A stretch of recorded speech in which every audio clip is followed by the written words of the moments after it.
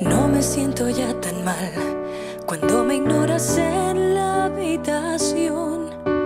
No me siento ya tan mal, pues me concentro y pienso en la mirada de ese alguien que me tiene entusiasmada.